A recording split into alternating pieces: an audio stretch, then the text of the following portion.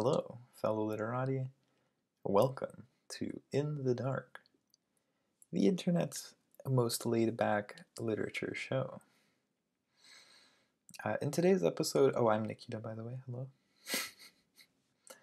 uh, in today's episode, I thought we could talk about originality um, and the role that uh,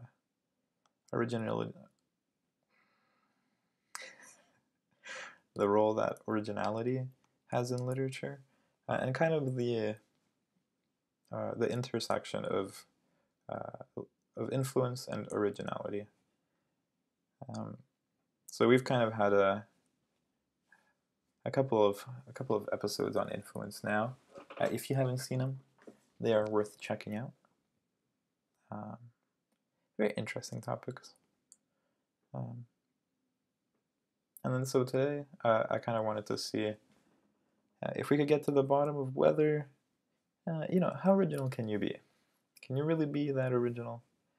Uh, in the last episode, I kind of mentioned when I was talking about uh, Harold Bloom uh, and his anxiety of influence concept.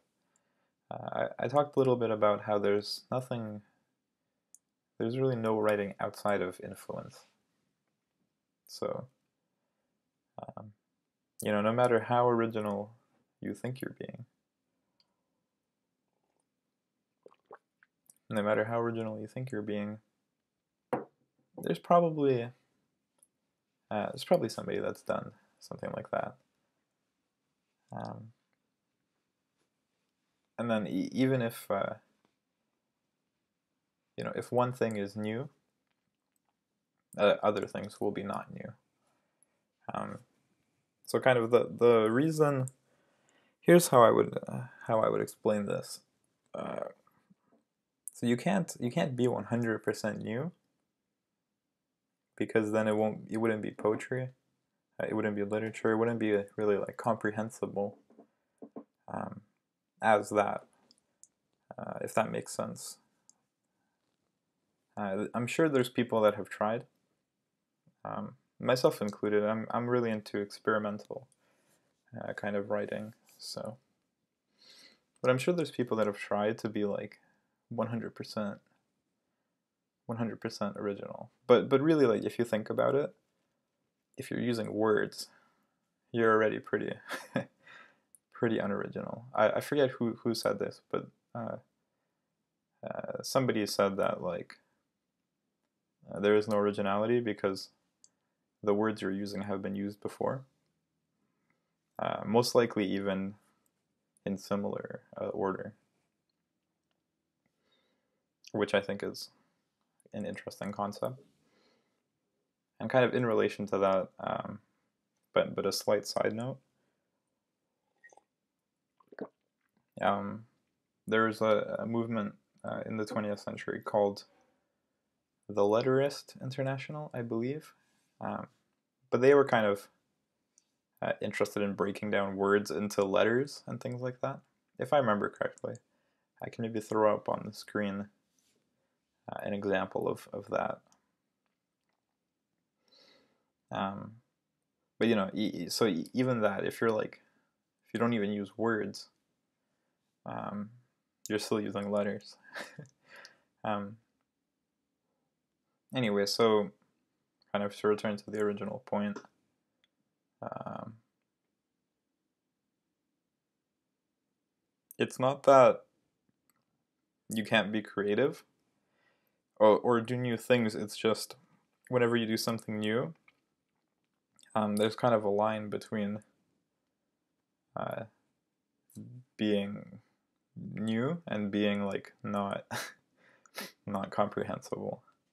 Um, and, and most people have kind of uh, an intuitive sense of where that line is. So you wouldn't really cross it um, just by accident, I think. Because um, then I think you would be able to tell that it doesn't really make sense. Um, and, and there's also a difference between you know somebody telling you that they don't understand and like the thing being incomprehensible if that makes sense um, so if you create like a new poetic form, for example, and people are like, I don't get it. Or you know, if uh, for example, if you make some something of just like letters, and people are like, oh, it's not poetry. Basically, uh, almost every movement, uh, every kind of innovation has been met with uh, criticism from the establishment of like, oh, it doesn't make any sense. Um, but you just got to be careful because it might it might actually not make any sense as well. Um, but it is true that like impressionism, the in painting, got canned.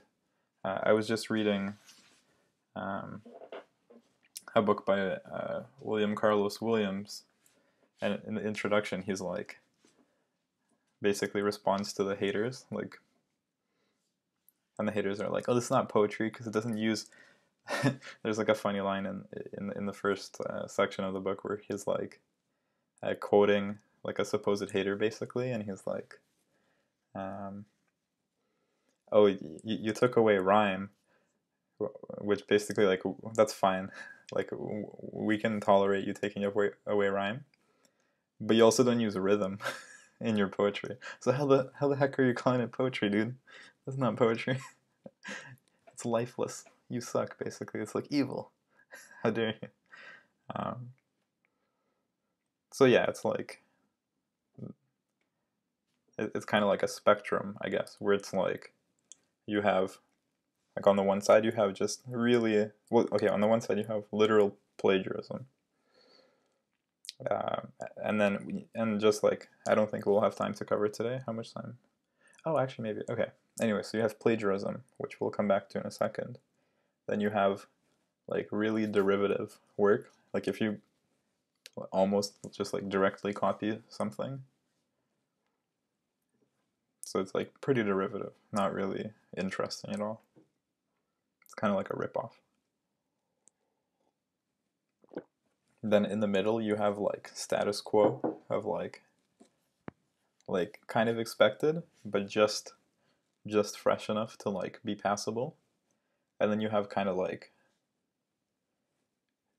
you know, slightly next to that you have like new, pretty cool. And then you have like avant-garde, which is like really experimental usually or at least like one crazy like crazy concept. And then you have just like uh, beyond avant-garde is just incomprehensible. Um, and and uh, basically, um, if there was ground to cover in terms of like pushing towards the incomprehensible, I, I think to an extent that's kind of been the past hundred years or so in art. Um, I'm not 100% sure about literature, but in art, absolutely.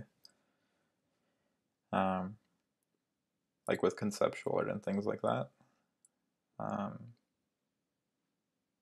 but I think that's been kind of exhausted. Like, yeah, you could take a chair and say, "My this chair is a poem." Um, I wouldn't be surprised if somebody has done stuff like that already. Um, and that's not something I think is like super interesting. um, but yeah, I, I, don't know. I feel like now there's there's really you can't be incomprehensible very well anymore. Uh, that's kind of been obliterated. So you just have um, kind of just avant-garde now. Um, the problem is that uh, it's like that far extreme of being incomprehensible. Uh, I feel like now it's kind of um, it's become become so commonplace that now um, that extreme has kind of like come full circle and become just derivative or um, or status quo at least, which is a bit ironic, I guess. It's a little bit interesting. Um, but yeah, so you know, for most writers, you want to be somewhere between kind of new and and avant-garde. Um, and and that um, zone, kind of the, the shared some the shared uh, quality of it, um, is that it, it, does something new. Um, but it's still kind of like it, it's within it. You have to be like within a tradition to an extent, which is why, um, you know, on the tamer side of things, like if you're just going to be kind of like new or clever, um, there's a lot of writers like that where the, they'll take a sonnet and they'll do something cool or conceptual with it, or they'll take um, a traditional theme like spring or something, right? Like a, or take like a symbol and just uh, put that in some in some fresh perspective. Um, or you know, for the avant-garde, um, a lot of the times what you'll see is if if they're destroying forms or, or they're doing something new with form, like the structure of a of a thing, um, the subject matter of it will be kind of more more classic um,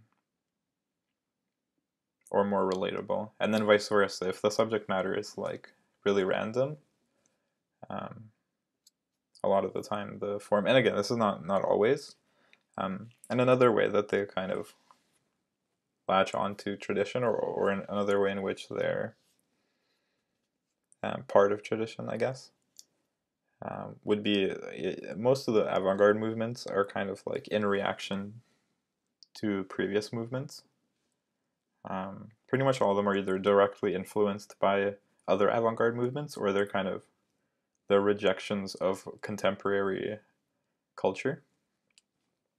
I think that's true for probably every every avant-garde movement, which is a pretty convenient way like there's no avant-garde movement that's just like in relation to nothing just because um, you can't really be like you can't really be avant-garde in relation to nothing right avant part of the the concept of avant-garde is that it's it's cutting edge in relation to the culture right so you know if you want to be like dada um, if you haven't seen the dada video you should check it out dada is very cool uh, very helpful to know uh, what they are.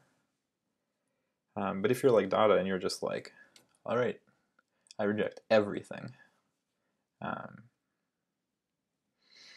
but like, yeah, technically, but good luck, good luck actually doing that. Um, they tried.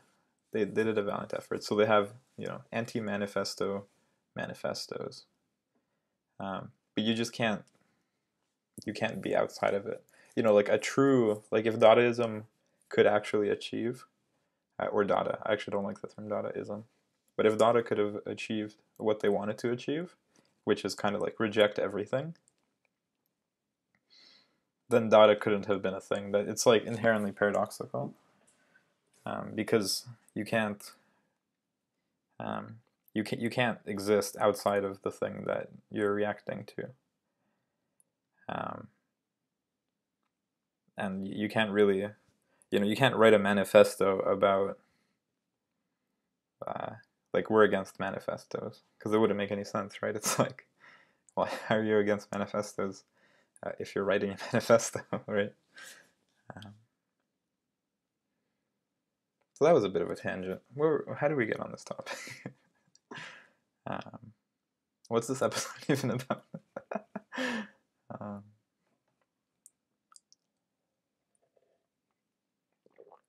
I need Gracie to help me. I'm confused. Oh yeah, we were talking about uh, originality. So that's kind of that makes sense. um, so yeah, don't um, and and I guess the the reason why that even matters at all um, is just don't worry about especially when you're starting out, don't really worry about being super, super original. Um, it just kind of, as you learn more, like to, to be original, you have to understand what, what has been done before. Um, that's something that I've kind of learned recently. Um, it's pretty difficult to be original without knowing what there is.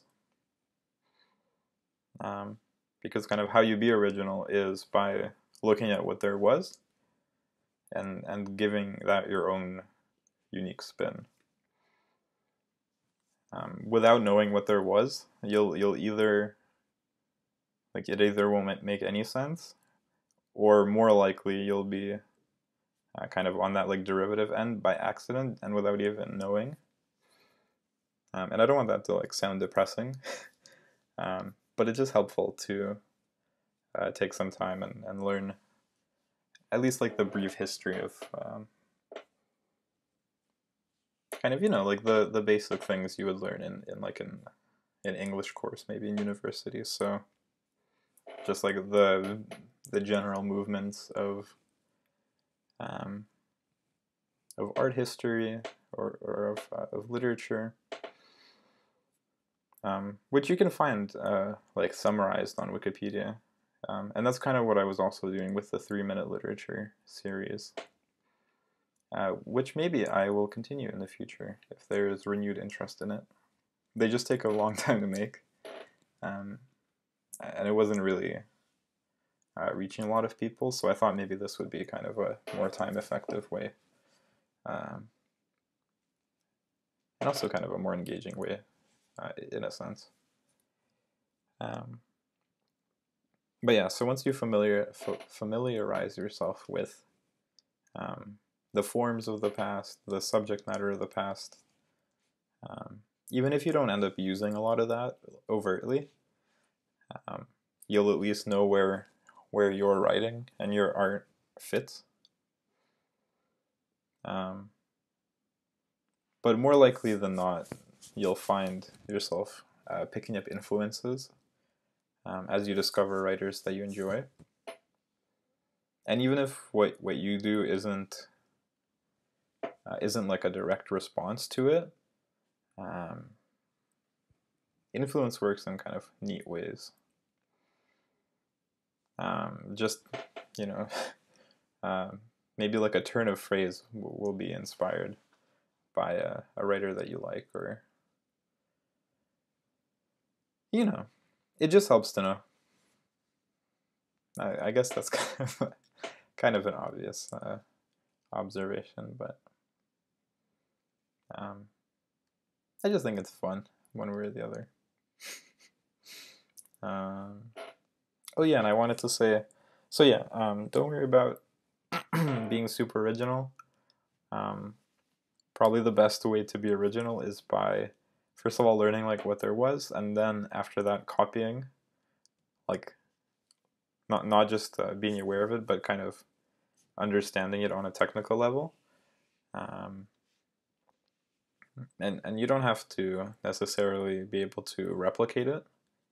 Uh, but it's like one thing to read uh, like a sonnet by Wordsworth, and it's another thing to be able to explain like the structural components, and at least being able to explain it. Like you don't have to spend three years writing sonnets uh, if you don't like them.